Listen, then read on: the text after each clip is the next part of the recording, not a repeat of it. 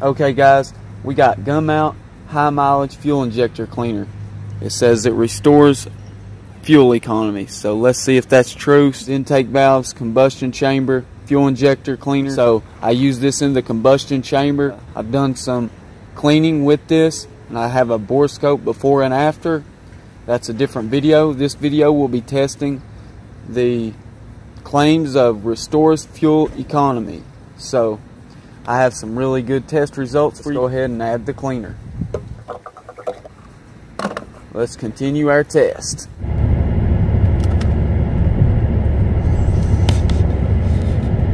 Okay guys, as you can see, the trip meter was restarted for the miles per gallon. the most important thing here is this will be the dry test. Shows the MPG, the temperature outside, and see the odometer. That just shows our mileage. But the way this test is going to be done to get this test the most accurate is going to be, for one, not use anything that we don't have to. For example, um, don't use any air, don't use uh, any, basically anything in the car at all. Roll the windows up. So I turned on the air for just a second.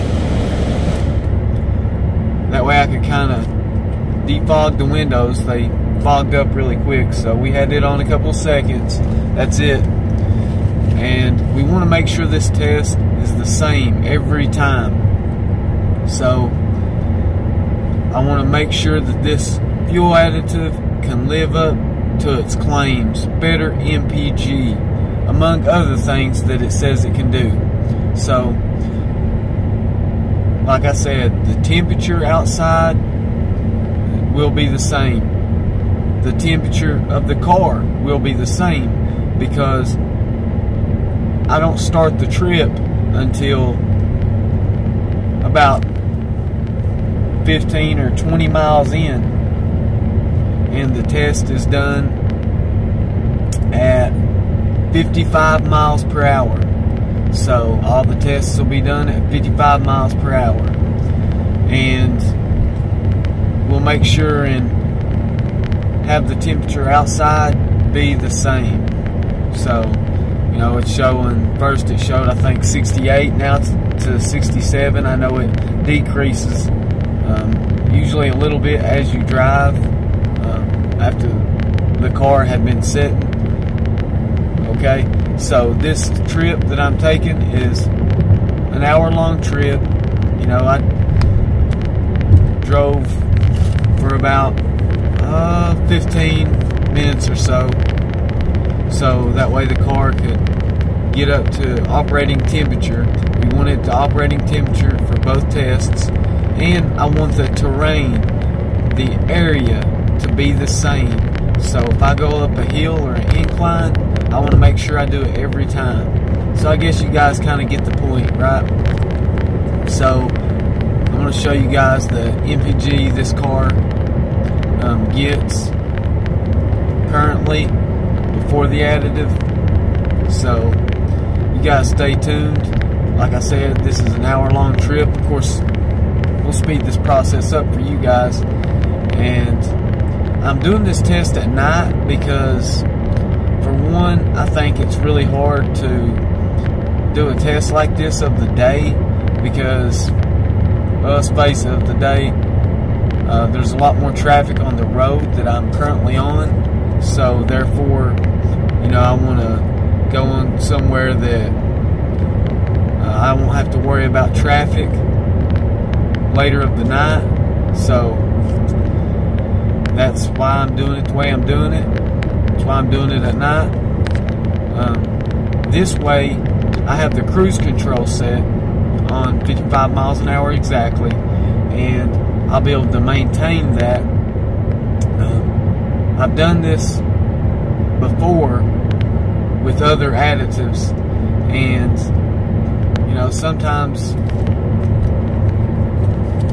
you know some vehicle pulls out on the road it, it does happen but I try to work my way around it without breaking cruise control or really changing anything up so that you guys can have a, a, accurate test if not I'll repeat it until I'm able to do it so like I said the speed the terrain the temperature of the car the temperature outside even the weight of the car will be the same. So I won't be adding anything in the car. I mean, you know, so everything will in fact be the same. So you guys can take a look. I'll show you guys. Uh, we're currently outside right now, and like I said, I start the test at the same spot on the road. So, you know, I'd already started it a little ways back. So, speed of the vehicle is the same. As I said, 55. So, as you can see, cruise control set, maintaining the same speed, same temperature. Um, not using any uh, thing in the car heat, air, anything like that. Um, the fuel. Now the fuel is basically full when I started, and I want the weight to be the same. So, in fact, I will make sure that the weight is the same the next trip too. I'll add a little bit of fuel tomorrow as well when I conduct the next test. So, like I said, the test has to be done at night. And this is an hour long drive so I'll get the additive put it in the car and we'll be good to go. So as you can see as you can see it's dark outside and that's why I'm doing the test obviously because there's no cars out like I said before so I mean, you'll see one here and there every now and then, but usually it won't be a problem. So we're good to go. And as far as the additive goes, I'm going to use the additive the exact same. Um, I'm going to use it the same as the instructions say. And if you guys want to change the mix of the additive, the mixture that is, then I can do that for you guys. If you want me to add a little more, use a little less, then I can definitely do that. I'm really excited to find out does this really work? Are these guys really just claiming this stuff? You know, does this additive really work? So I guess we're going to find out. Stay tuned. Okay, guys, here we are again, and you can see the average MPG so we are coming up to the spot at which it comes to an end and we'll see what the average MPG is. So I'm curious to find out. This is a big hill we're going up. I live in a region where there's a lot of mountains. So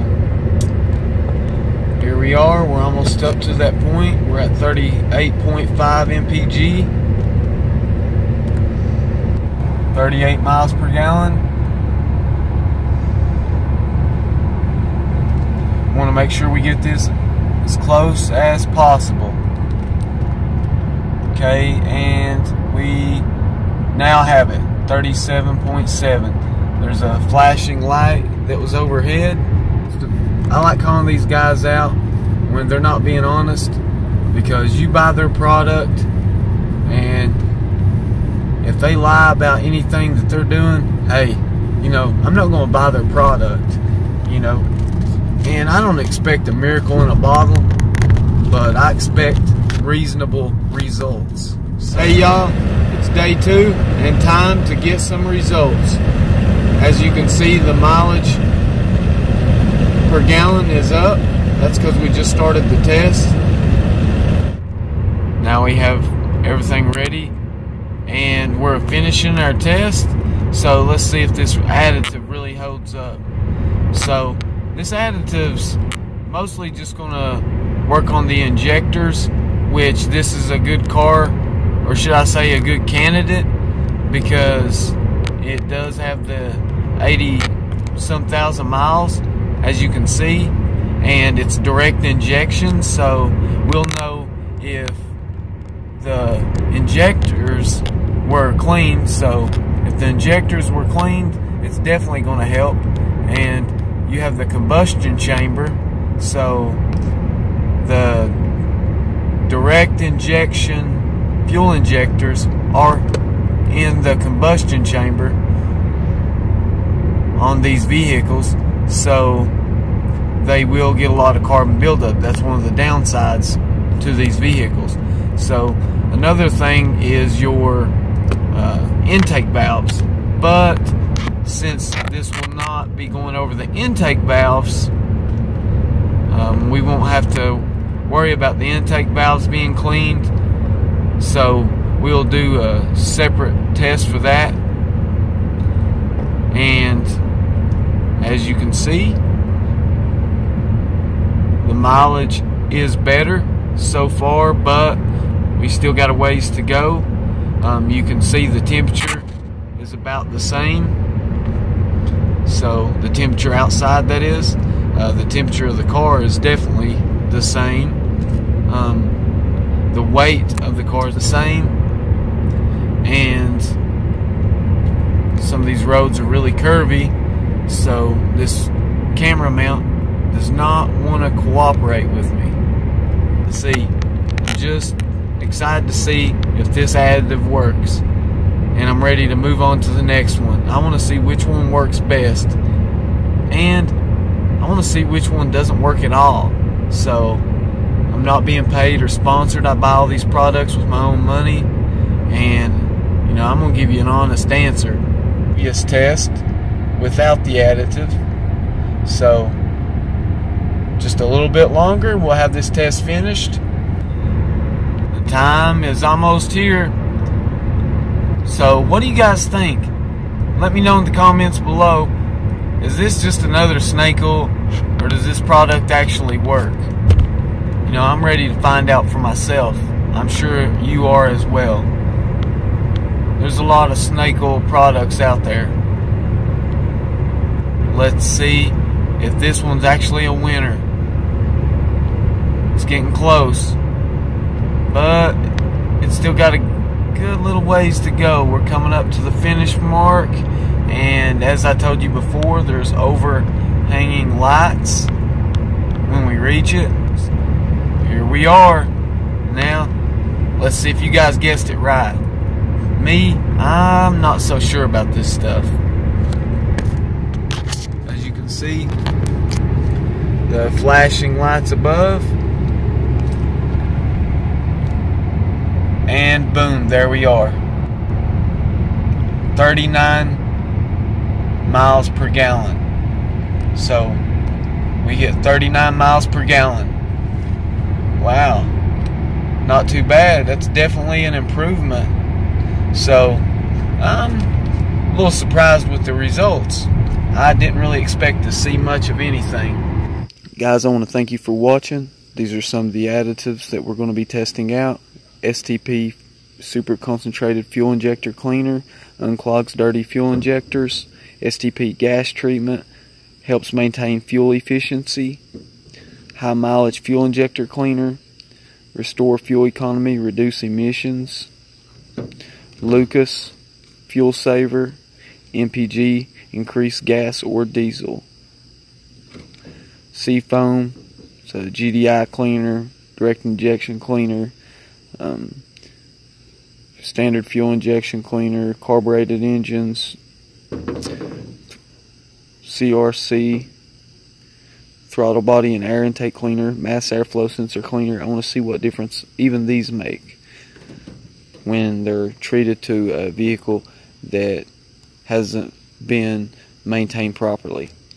STP high mileage fuel injector and carburetor treatment fuel injector cleaner, SuperTech. Who knows, maybe the cheap stuff's the best.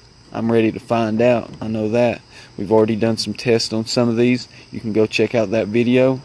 So STP Complete Fuel System Cleaner removes deposits from entire fuel system. Well, that seems to be the jack of all trades. I'm definitely ready to try that one out also.